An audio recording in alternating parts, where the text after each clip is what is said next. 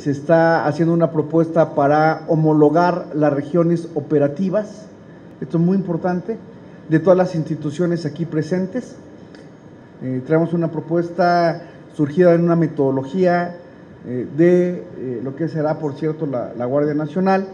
y hay un acuerdo absoluto aquí en esta mesa